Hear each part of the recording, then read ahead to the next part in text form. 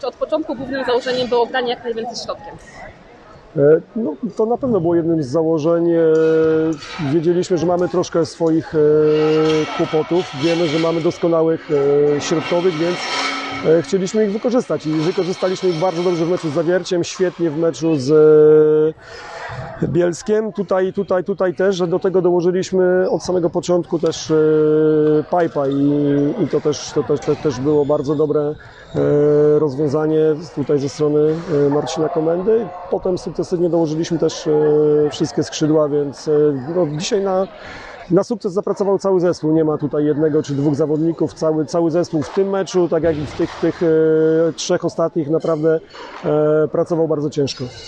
Udało się zbudować taką pewność siebie w drużynie, mimo tych wszystkich kłopotów zdrowotnych, jakie mamy? E, Ja to powiedziałem e, w szatni dzisiaj przed meczem, że im większe kło- kłopoty na nas padają i zdrowotne i wszelakie e, inne, to powoduje, że jesteśmy coraz mocniej, mocniejszym zespołem, coraz mocniej, nie wiem, pracujemy, coraz mocniej chcemy wygrywać i, i tutaj ta, ta pewność siebie na pewno jest tak, że każdy czuje się też odpowiedzialny jeden, jeden za drugiego i, i mówię, no to było widać, że e, jesteśmy, jesteśmy zespołem pomimo wszelakich problemów, jesteśmy zespołem, który będzie walczył od pierwszej do ostatniej piłki. Jakie znaczenie może mieć to zwycięstwo dla postawy drużyny w kolejnych meczach, które nas czekają? Ja myślę, że każde zwycięstwo powoduje, że zespół zyskuje e, pewność siebie, więc to, to na pewno jest to drugie nasze zwycięstwo, na pewno nas bardzo cieszy. E, Czekamy na, na powroty zdrowotne, no, które niestety jeszcze, jeszcze trochę potrwa- potrwają, E, ale no, będziemy jechać do Gdańska na pewno z nastawieniem walki o zwycięstwo. A kiedy mogą powrócić kontuzjowani zawodnicy? Jak wyzdrowieją. A tak, no dobra, daj dalej, no tak, tak, tak, tak, tak poważnie, no niestety tutaj nie ma, nie ma dobrych wiado- wiadomości.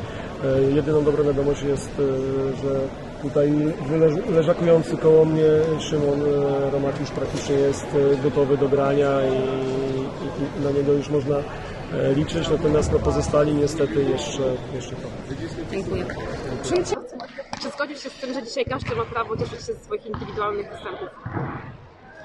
Myślę, że każdy ma prawo z, cieszyć się z, oczywiście z indywidualnego występu, ale najważniejsze, że mamy wreszcie taką uciechę jako drużyna i, e, i możemy, możemy cieszyć się ze zwycięstwa przed, wreszcie przed swoją publicznością, bo troszeczkę ich e, e, ostatnio ich cierpliwość e, naciągnęliśmy.